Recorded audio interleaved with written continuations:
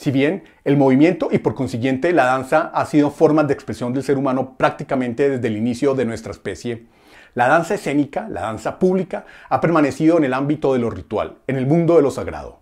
Esto se puede observar en cualquier civilización o cultura alrededor del mundo. Y por supuesto nuestros pueblos indoamericanos transmitieron ese conocimiento a lo largo del tiempo. El artículo que hoy les traemos nos presenta un breve recorrido histórico sobre la enseñanza de la danza en México.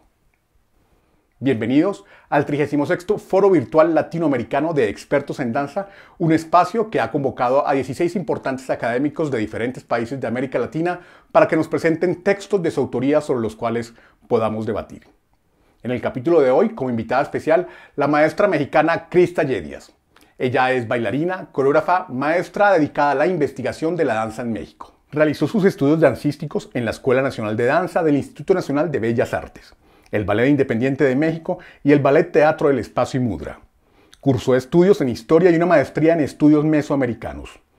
Ha sido maestra de diferentes instituciones académicas y actualmente es docente en la Escuela Nacional de Danza Nelly Gloria Campobello. Asimismo, es directora general de la compañía de danza y teatro Sarambeques y Muecas. La maestra Yedias nos presenta su artículo de Divinidades, Aristócratas y Republicanos, y estará dialogando sobre este texto con el maestro colombiano Cristian Pacheco. Este artículo, así como todos los que componen este foro virtual, los podrán descargar gratuitamente desde la biblioteca de nuestra plataforma www.danza.co, en donde además encontrarán el foro, un espacio donde pueden escribir y participar activamente de estas conversaciones. Comencemos.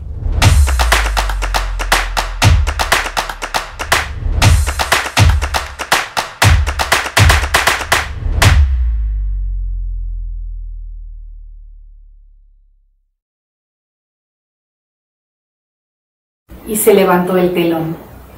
La danza sucedió nuevamente como hace 90 años, tres siglos, 400 lunas. Sangre joven, nuevas vidas, abrieron sus alas al conocimiento milenario que aún late en la divina esencia de la danza mexicana. Con ellos se levantaron a bailar quizás sin saberlo todos los pueblos que sigilosamente aparecen en nuestras pisadas cotidianas la primera escuela profesional de la danza mexicana cumple 90 años, tres siglos, 400 lunas de vida. Su esencia aporta los saberes del cuerpo, el destino del espíritu, y es en donde el alma mexicana puede reconocerse, ataviarse, renombrarse. Hay en la danza secretos que se cuentan a voces, historias que se platican cada vez que nos levantamos a bailar, porque nuestro pasado se pronuncia a la sombra de nuestros cuerpos no podemos frente a ella disimular la sangre que nos recorre, los espíritus que transitan por nuestra piel y las palabras dichas. En México, quizás como en pocas partes, la danza posee una cierta cualidad ritual, una condición casi religiosa en su realización. Bailar y danzar son palabras que en el universo mexicano contienen el espíritu del alma misma de la cultura, obra meritoria, privilegio frente a los dioses, la vida misma. En el universo prehispánico, al maestro de la danza lo elige Dios desde el cielo, porque es Él quien enseña a las niñas la oración silenciosa que se hace con el cuerpo. Bajo la mirada de la cosmovisión indígena, danzar se concebía como hacer penitencia, recibimiento como exvoto o promesa regocijo y placer para alegrarse, llamamiento y alabanza a sus dioses con cantares de la boca, el corazón y los sentidos del cuerpo, con lo cual les servían. Existían para el aprendizaje de la danza y la música academias especiales cuyos maestros, ancianos honorables, enseñaban como hasta ahora los pasos con gran orden y disciplina. Todos los niños a partir de los 12 años debían aprenderla. Sagún menciona la palabra Mixcoacali para referirse a esas escuelas, en tanto que Durán reconoce en Xochipilli al numen de la danza, la primavera, la agricultura y la música. Un esclavo que sabía bailar era pagado según sus disposiciones y sus gracias. Se habla de danzas fastuosas en las que participaban miles de danzantes, que formaban enormes conjuntos y que asombraban por su perfección técnica Hacia 1523 comienza la enseñanza a niños indígenas de la música europea con fines evangelizadores. En el Hospital Real de San José de los Naturales, que tiempo después albergaría el Coliseo de México, la enseñanza comprendía la lectura, la escritura, el canto llano, el canto de órgano, el canto figurado y la ejecución instrumental, creando un sistema de evangelización a través de la música y el teatro religioso, cuyo propósito era que los indígenas, acostumbrados a la grandeza de sus fiestas religiosas, lo vieran, lo hicieran y actuando en él, comprendieran más fácilmente las verdades de la fe cristiana. En los albores del siglo XIX, el teatro será la principal diversión, la escuela de las buenas costumbres, la educación y la finura, aunque será también testigo de luchas políticas y su cierre anunciará tragedias, epidemias y desgracias nacionales. Nuevas diversiones fueron apareciendo. Los públicos, así como los espectáculos, se diversificaron en formas caprichosas. Se transformaron las modas que llegaban de Europa. Ópera, comedia de magia, bailes de gran aparato, sonecitos del país, maromas, caprichos, cirqueros, zarzuelas, pastorelas, jacalones de títeres, cafés cantantes y tandas que dieron rostro a quienes se miraron en ellos. Tras once años de guerra de independencia, con la entrada del ejército trigarante, llegará una nueva forma de mirarse y de ver la vida. Danzas y funciones teatrales darán la bienvenida a un nuevo tiempo. Bailes y tertulias ocupaban ahora la vida social. Saber bailar significaba ser portador de un innegable certificado de sociabilidad que simbolizaba la modernidad y la elegancia. Se popularizó la enseñanza de los bailes de salón en academias entre todas las clases sociales. Las familias acomodadas contrataban a maestros para tomar las clases en su domicilio, en tanto que la gente sencilla acudía a las academias. La mayor parte de la música mexicana del siglo XIX que se conserva es en su mayoría música de salón. Constantemente se ponían a la venta colecciones de música con instrucciones para ejecutar contradanzas, lanceros y cuadrillas. Estas se anunciaban a la venta en periódicos y revistas, a manera de avisos. Grandes figuras de la danza teatral instruyeron a los jóvenes de sociedad para los grandes bailes que se celebraban en toda la ciudad. Bailes de postín o caseritos, de vecindad, tertulias familiares o bailes de gala tenían lugar diariamente. Aparecieron escuelas en donde se enseñaba a la sociedad el arte de la danza de salón o cuadrillas al último estilo de París. Hacia 1831 el Teatro Nacional contaba con el Conservatorio de Actuación, Canto y Baile dirigido por Andrés Potret, quien produjo varias generaciones de bailarines y maestros mexicanos. En 1834 llegan de España la familia Padilla, bailarines teatrales que al igual que Potret enseñaban danzas de salón. El teatro mexicano solo cayó una sola vez en su historia y fue cuando la invasión norteamericana estalló. El general Scott intentó sin éxito la convivencia a partir del teatro, pero solo logró más desprecio y odio hacia tan injusta y ventajosa ocupación.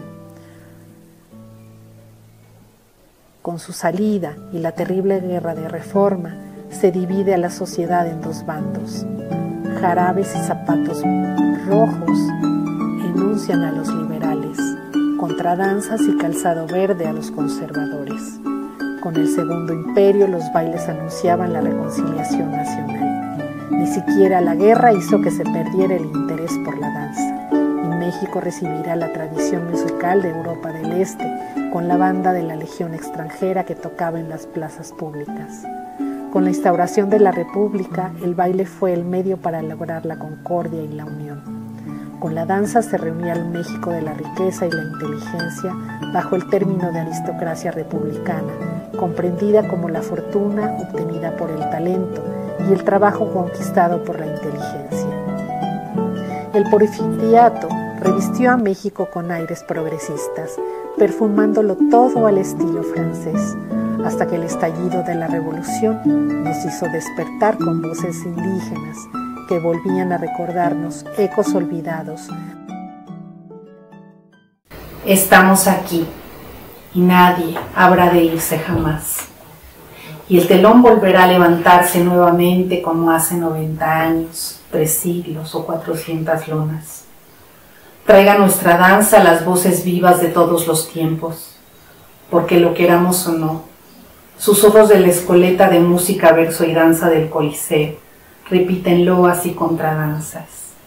Lecciones de elegancia y buena educación aprendidas en el Conservatorio de Actuación, Canto y Baile del Teatro Nacional aún se pasean con la ciudad, vestidos con nuestros propios tiempos.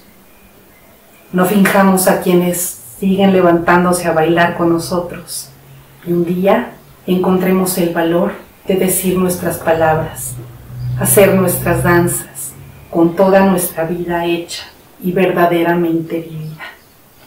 Que no cesen mis flores, tus flores, que no cesen tus cantos, mis cantos.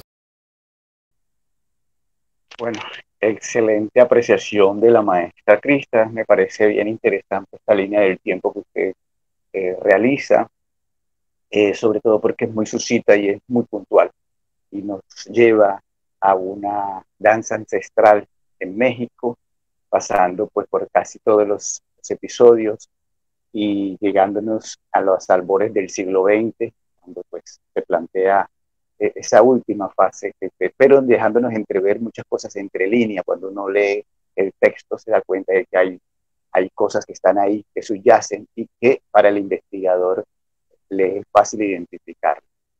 A mí me, me, me asalta pues también una pregunta en este orden de ideas maestras y es que normalmente en este tipo de investigaciones, de recuentos, cuando se hacen por fuera de de, los contextos, se olvida muchas veces lo que ha influido y lo que ha determinado en la danza y en el espacio festivo, todo lo que tiene que ver con la economía, las economías que se mueven. Pues en ese trasegar que usted hace y en esa línea de tiempo, pues claramente se pasa de, sociedades diferentes y en diferentes etapas de la producción. ¿Cómo se debe mirar para poder hacer un acercamiento eh, digamos que más puntual, más exacto y más fidedigno hacia la danza cuando se hace este tipo de trabajo. Bueno, eh, lo que yo he encontrado en realidad es que es muy complicado el estudio en México, básicamente porque es un, es un universo lleno de complicaciones, es, un universo que tiene muchísimos grupos sociales, que, que tiene además muchísima gente que viene de todos lados, y eso complica bastante la condición. Sin embargo, a partir justamente de este encuentro, este, estos dos mundos, que en realidad no son dos mundos, sino son 17 mundos distintos, es decir, todos los pueblos que vienen de España, más todos los pueblos que estaban en México, más todas las razas que de alguna manera se encontraron aquí. Creo que eso también nos da, nos da una, idea muy clara de hacia dónde podemos eh, enfocarnos, cómo podemos empezar a, a distinguir estas condiciones. ¿no? Hay algo que es muy importante y básicamente aquí como allá, o sea, en, América, como, bueno, sobre todo en Mesoamérica, en toda esta zona, que finalmente, eh, posteriormente se convirtió en la Ciudad de México, hay como un espejo entre la manera en la que se miran estos universos. Es decir, los tomistas, que finalmente eran los que de alguna manera replantearon la construcción de la Ciudad de México, de alguna manera también se encontraron con que era una ciudad que estaba planteada básicamente bajo ciertos estándares muy parecidos. Entonces, eso tiene que ver con una condición gremial y tiene que ver con una condición de oficios. Entonces, obviamente la ciudad se va abriendo a partir justamente de esta traza, que tiene que ver justo con una traza cósmica, ¿no? Y esa traza cósmica, así como es el universo, así como dicen, como es arriba es abajo, como es adentro es afuera, esa misma condición eh, permea justo a la forma en la que se traza esta nueva ciudad. Entonces la ciudad de alguna manera obedece a las mismas eh, condiciones, a los mismos estándares y obviamente todos estos oficios tienen una representación dentro de este universo festivo de la Nueva España. Y obviamente esto también va a tener que ver con todo lo que va a, suceder posteriormente. Es decir, em, tenemos aquí una, una complicación porque hay muchas cosas que se nos han han ido como de, largo, ¿no? Nosotros pensamos que quizás llegaron los españoles y entonces no. hubo también muchas cosas que se fueron respetando. Muchas cosas fueron también eh, asociadas al universo festivo, pero además al universo popular. Entonces es algo que nosotros hemos dejado de entender. Estamos viendo la iglesia como si fuera algo terrible que hicieron, pero en realidad el pueblo mexicano acogió esta idea también y la iglesia y el gobierno también tienen que ver con una, con una construcción popular. O sea, el pueblo también tuvo mucho que ver en esta manera en la que, en la que esto se va desarrollando. De tal suerte que tú ves estas fiestas y cada uno de estos estratos, cada una de, estas, de estos gremios, cada una existen. Entonces, la representación más importante de, de estas fiestas tenía lugar en el Día del Corpus, ¿no? la fiesta del Día de Corpus, que era así la fiesta más grande de la Nueva España. Y obviamente estas fiestas, pues obviamente todo el mundo tenía que estar presente y haciéndote presente, ¿cómo te hacías presente? Por tu gremio, era tu dinero, tu, posición en el universo, pero además tu, tu, posición en la, en la procesión es también tu posición en el cosmos, tu posición en la iglesia, tu posición desde arriba, cómo te miraban los dioses, cómo fueron concebidos los artesanos, los orfebres. Y algo que también es muy importante, para hacer una celebración, para hacer una fiesta en la Nueva España, era necesario que contaras con todos los oficios que existían en la Nueva España. Es decir, yo el otro día les preguntaba a mis alumnos, ¿cuántos oficios son necesarios para una fiesta, para la realización de una danza, de una sola danza? Necesitas talabarteros, carpinteros, eh, gente que se dedica al arte plumario, cocineros, pero además, para que ya haya cocina, entonces tuvo que haber alguien que se dedicara a la agricultura tuvo que haber otra persona que se dedicara a hacer cuánta cosa. Entonces, obviamente, eran unas fiestas enormes porque era necesario que todo el pueblo estuviera presente. Entonces, a mí me llama mucho la atención porque nosotros estamos, em, no sé, pensando el universo a partir de la, no sé, de la diferenciación, a partir de, de fragmentar el universo. El universo no está fragmentado la danza lo que pide justamente, o la realización de la danza lo que pide, es que todos los oficios estén en una sola condición. Y es la danza la que finalmente hace que se levanten todos los demás oficios. Es a partir de la danza donde, donde todo el mundo se presenta justamente con su propio cuerpo, pero su cuerpo que carga la historia de su gremio, la historia de su oficio, la historia de todo lo que has hecho durante todo el año. O sea, es tu cuerpo el que carga los años, es tu cuerpo el que te dice lo que sabes, lo que no sabes, lo que te falta, lo que has hecho, lo que no has hecho. Y justamente eso era lo importante del asunto, ¿no? O sea, es tu cuerpo el que carga esto. Entonces, la danza en México justo no tiene esta, eh, más bien tiene esta, esta necesidad. Cuando tú te levantas a bailar, se levantan a bailar contigo todos los oficios, o sea, todos los, los oficios que te acompañan. ¿Quién eres tú?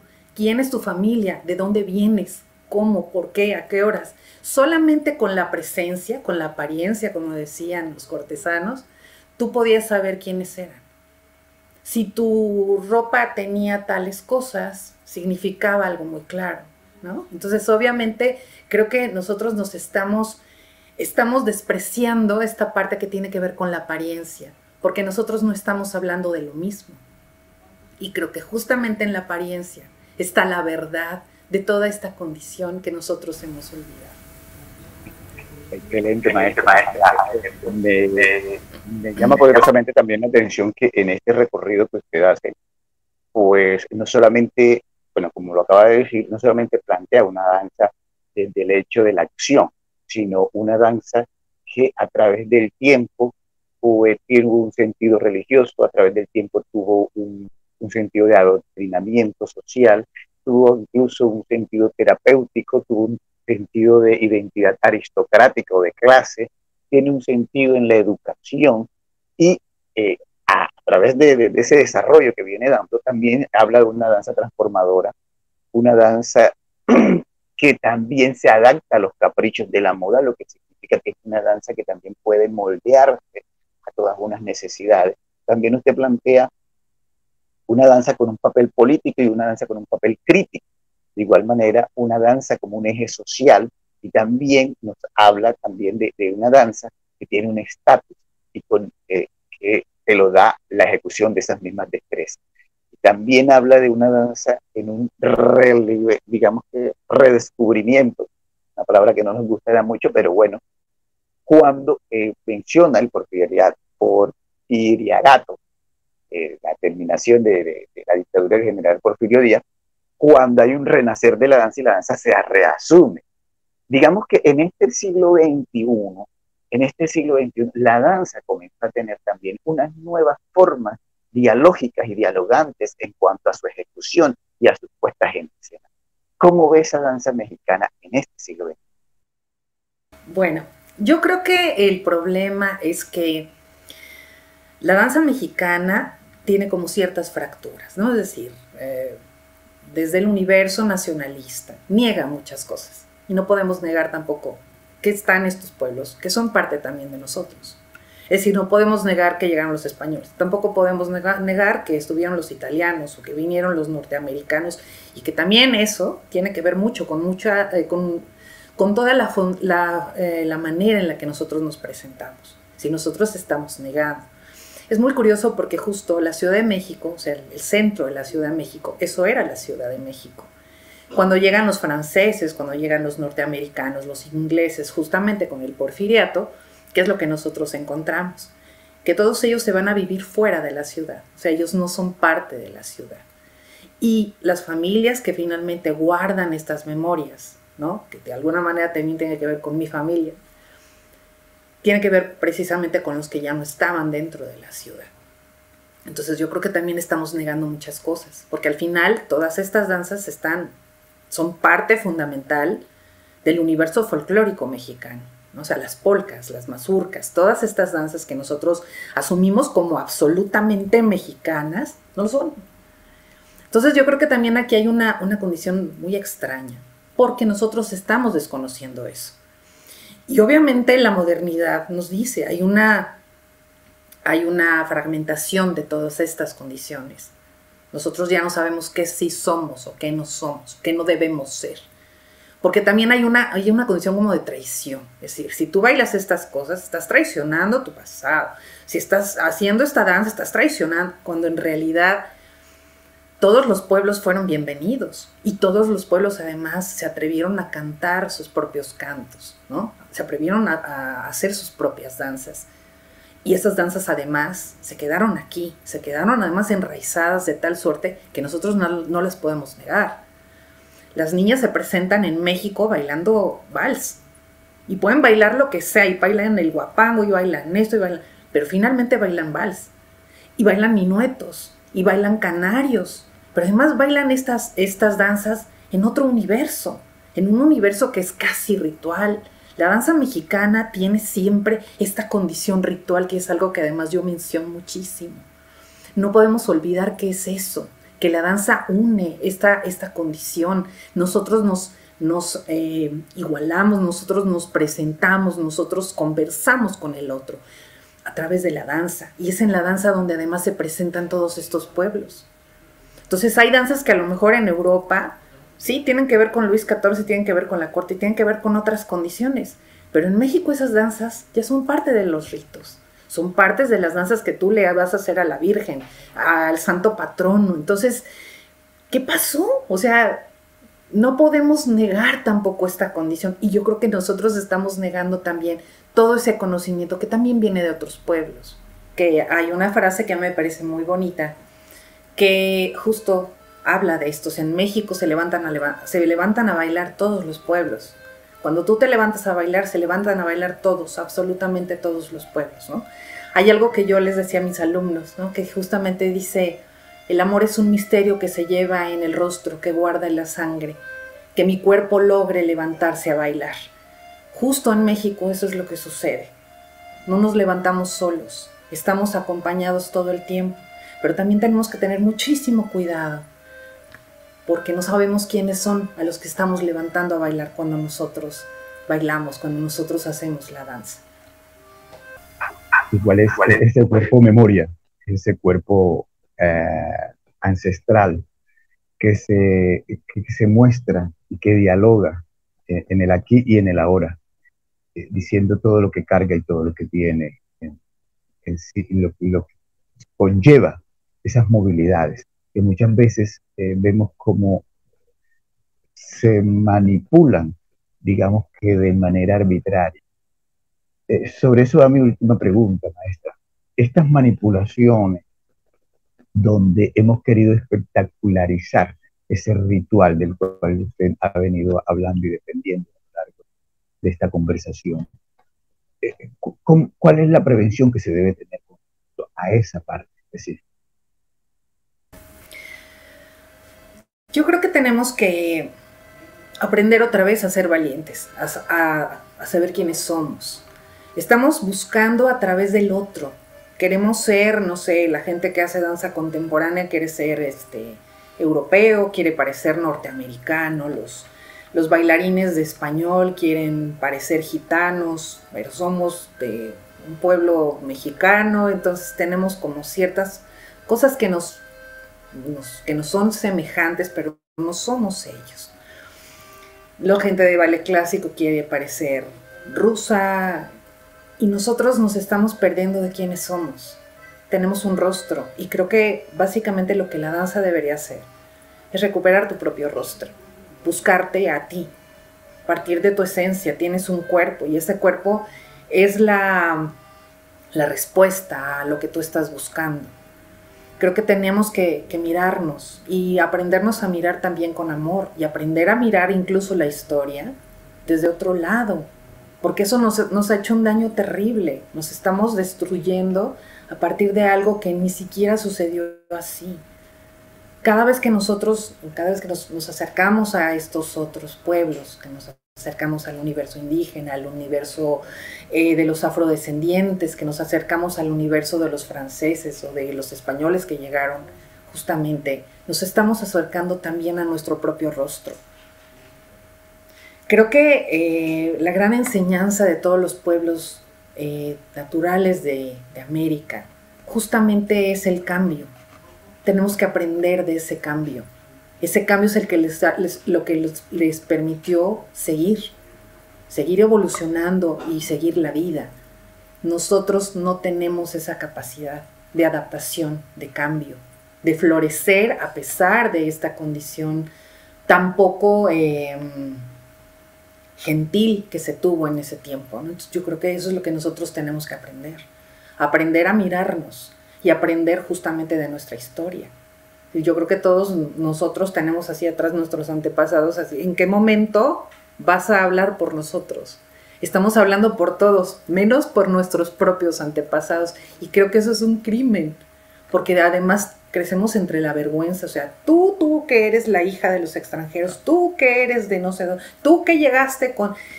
Ay, nos estamos perdiendo de cosas tremendas.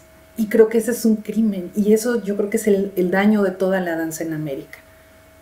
Que no estamos escuchando nuestro propio eh, sonido, nuestra propia voz. Porque además el cuerpo lo grita, ¿no? El, cuerpo lo está diciendo constantemente y creo que es ahí donde nosotros tenemos que insistir. Buscar como esta, esta grandeza que tienen los cuerpos para poderlos hacer hablar, pero no por las palabras de los otros, por tus propias palabras. La técnica, por supuesto que te va a llevar a algo, pero la técnica solamente es un camino. ¿Cómo tú vas a decir esas palabras? Es ahí donde, donde nosotros tendríamos que insistir. Así es, maestra. Eh, interesante toda esta postura y que nos invita a mirar, a mirar hacia adentro, ya que toda la vida nos las hemos pasado mirando hacia afuera, tratando de buscar afuera lo que realmente y las soluciones que realmente tenemos por dentro. Como decían en estos días, eh, un pueblo que niega su generación es un pueblo degenerado. Eh, muchísimas gracias, maestra. Pues ha sido para mí un completo placer cómo atender desde el Caribe colombiano, desde Barranquilla, esta calurosa ciudad, a una colega desde México. Y pues que este sea el espacio natural para unir eslabones en toda América Latina y en toda la América hispanoparlante para eh, integrarnos en conocimiento y en lo que se piensa y en una danza que, como a veces digo yo a mis estudiantes, estamos acostumbrados a hacerla del cuello hacia abajo y ahora nos toca hacerla del cuello hacia arriba, pensar en la danza. Muchísimas gracias a los danzantes y muchísimas gracias a todos los que están compartiendo con nosotros estos conocimientos.